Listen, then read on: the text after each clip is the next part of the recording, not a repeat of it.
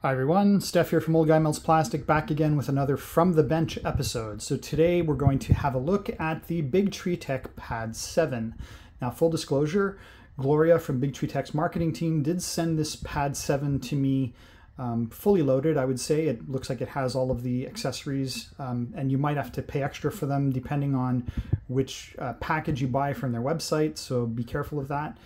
Um, so this Pad 7 came to me uh, at no charge, was sent to me at no charge, uh, with the understanding that I would record some content for it. And I'll be honest, at first I wasn't sure, given my Vorons that I have in play. Uh, my Vorons already have displays and single board computers driving them. So I, I kind of wondered, you know, what I would use this for. And then I thought, well, hold on, I've got a test bench, and my test bench did already have a single board computer um, driving the test bench electronics, but it didn't have an LCD display. And so this kills two birds with one stone. Now, if you already have a printer with an integrated display and an integrated um, single board computer, then this might not really offer you much benefit.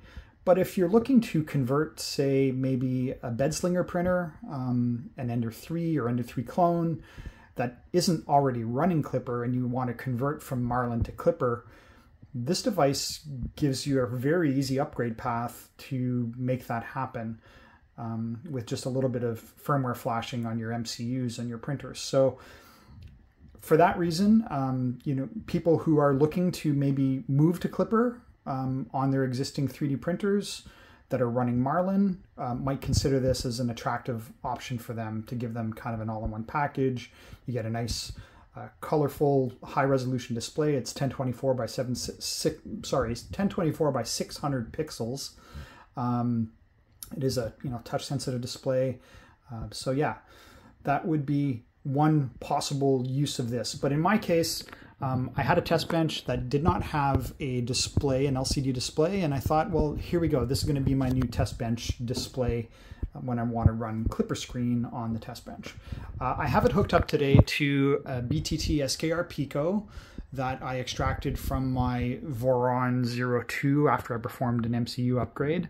And it is running um, with a CAN bus toolhead. This is my Voron Stealth Burner toolhead. Um, the toolhead is equipped with the BTT Knomi display. Um, this toolhead is actually fully active, but I don't really have a bed. I don't have kinematics for it. The extruder itself, the extruder motor would work, and I could push plastic through it and even heat up the hot end if I want. It's running a Revo hot end down below. Um, but it would just end up you know melting plastic onto this stand and that's not really useful for anyone but just to show that you know the tool head itself is fully functional um, and we have that connected via CAN bus uh, to the back of the pad 7 so let's have a look at the back of the pad 7 here and see what kind of ports we're given. Um, so as it says here, Big Tree Tech Pad 7, 1024 by 600 pixels. It's a 7 inch diagonal display. Um, it comes with a, a AC-DC power adapter. It's a 12 volt 2 amp power adapter. Um, they also include this little screw down terminal, which is goes to the power port. So I would imagine if you had a 12 volt power supply or the ability to step down your power supply to 12 volts using a buck converter or something similar, um, you could maybe you know wire this directly or power this directly from your printer uh, over 12 volts. So that would be maybe the use of this. It is it was included in my box. Um, I assume it comes with most of them, but again, you'll have to check with BTT on that to confirm. Um, we do have here uh, CAN H and L, so CAN bus uh, low and high.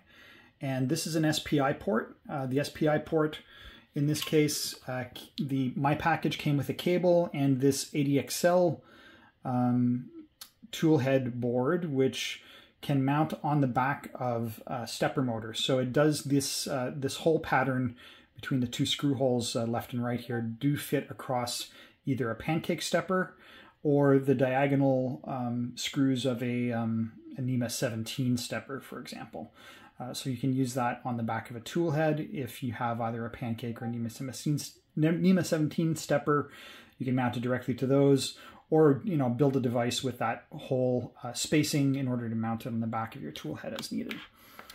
Um, and then if we look here on the sides, We do have on this side a 3.5 millimeter audio jack. Um, there is also a volume up and down button, so if you wanted to use this. Now, my understanding is that the Pad 7 uh, could be equipped with a um, CM4, a Raspberry Pi CM4 module, if you a compute module 4, uh, if you wanted to. Um, this one came pre-installed with a CB1, a BTT CB1, and that's how I'm running it.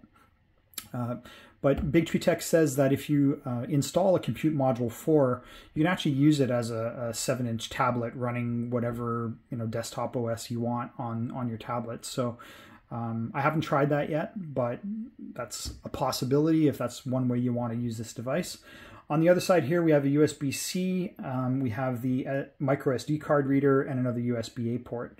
So a total of three USB-A ports, one USB-C port, um, and yeah, a nice large 7-inch display, diagonal display. Uh, there are these LED indicators at the top. Um, this is a light room light meter measuring device, I guess, to uh, increase or decrease the screen uh, brightness depending on the ambient uh, light in the room. And yeah, pretty interesting device. Now, they've got um, a special build of Klipper in here where they've added in some audio um, feedback when you press the screen. So I'll give you an example of what that looks like. And please disregard my Discord uh, pings going on in the background. But listen for this.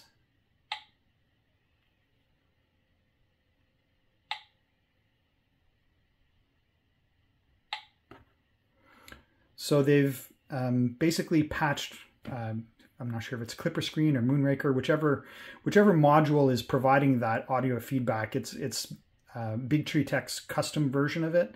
Um, and so you can run with that if you like the audio. If you prefer to not have that audio feedback when you press the screen, you prefer for a silent operation, um, you can simply change the uh, in moonraker.conf, you can change the repository that that uh, module is looking for and point it at the default um, original version or GitHub repository of that, that module, and it will then no longer provide you the audio feedback. So that is configurable if you want to do that. I actually don't mind the audio feedback. I find it um, gives me an extra sense that, you know, hey, my press, my button press was actually took effect and did something. Um, so yeah, this is running Klipper Screen and um, pretty happy with it so far. Again, you know, maybe not so useful if you have an existing printer that already has a Raspberry Pi-like device, a single board computer running it. Um, and you already have, you might already have a five inch or four inch or, you know, large display on your LCD display on your printer. But if you don't and you're looking to upgrade, um, this gives you everything you need in one. Um, and like I said, my package came with the CB1, it came with the ADXL accelerometer. Um, I'm in North America, I'm in Canada, um, and the AC adapter came with um, a number of heads for different uh, international wall outlet um, connectors. So the three here, and then I've got the one that's already in the AC adapter that's for me here in North America. Um, so it, you know, it pretty much came with everything you need to get started. And uh, I probably recommend this device to people who are looking to migrate from Marlin to Klipper on their existing printers, if that's something you're thinking of. So, um, not sure of the retail price. It'll vary by location. So check the biqu.equipment website if you want to find out more about the Big Tree Tech Pad 7. That's it for now. Thanks again for watching, and let me know in the comments if you have any questions.